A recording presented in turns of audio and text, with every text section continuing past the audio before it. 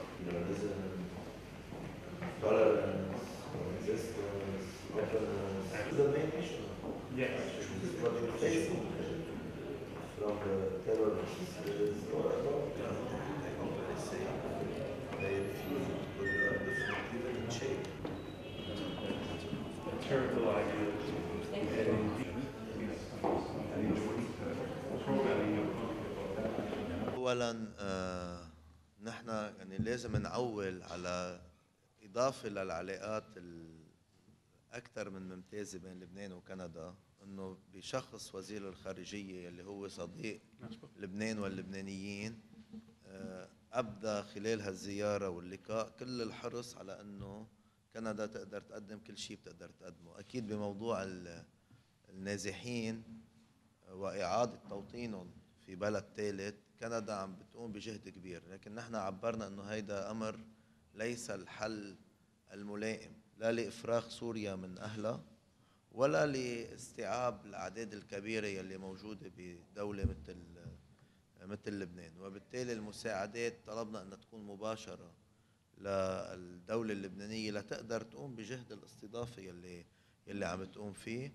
ونحن متفقين بالشيء يلي عم نعمله سياسيا على المستوى الدولي بأنه الحل السياسي آه، هو هو هو الوحيد المتاح وأنه العودة النازحين إلى سوريا هي الحل الوحيد كمان ل آه، لأزمتهم. نتأمل آه، باللي بالدعم يلي عم بيأكد الوزير الكندي إنه رح تقدمه كندا للبنان متزايد ومضاعف بمجال الإرهاب بمجال مساعدة الجيش.